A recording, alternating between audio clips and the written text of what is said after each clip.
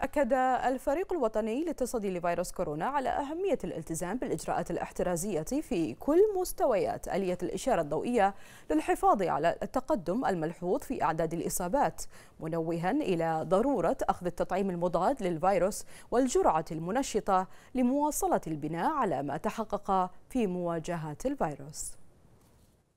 لضمان العودة الآمنة لابد من الاستمرار في تطبيق الإجراءات الاحترازية من خلال الوعي بالمسؤولية المناطة بكل فرد في المجتمع للدفع بعجلة النجاح لتحقيق المكتسبات للتصدي لهذه الجائحة وتعزيز الجهود والمساعي الحثيثة في هذا الملف الصحي.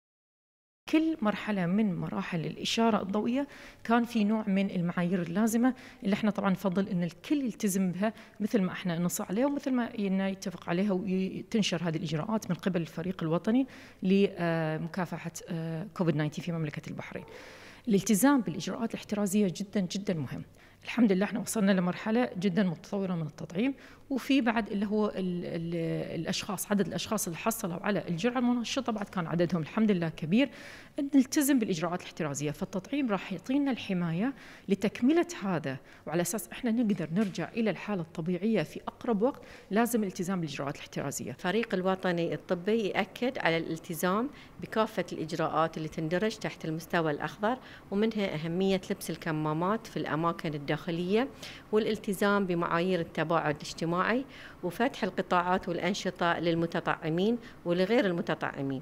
آه لابد من مواصلة الالتزام بالإجراءات وعدم التهاون في الالتزام وفي تطبيق التدابير الوقائية اللازمة التعاون بين المجتمع والجهات المعنية مكن المملكة من قطع أشواط في التصدي للفيروس بسبب الالتزام الفعلي من قبل جميع الأفراد وعدم التهاون في تطبيق الإجراءات الاحترازية على أرض الواقع.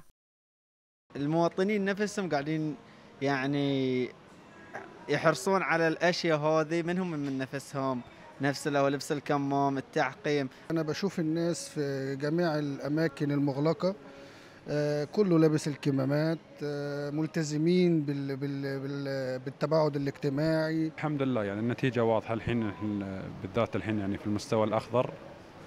فهذا يدل على التزام الناس وعلى حرصهم وعلى الوعي.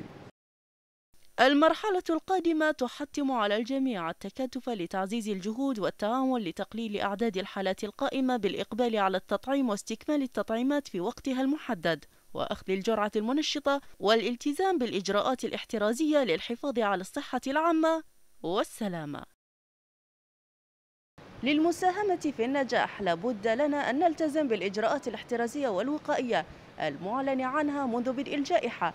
إجراءات سهلة وبسيطة ولكن من الممكن أن تحدث الفارق. شوق العثمان لمركز الأخبار تلفزيون البحرين.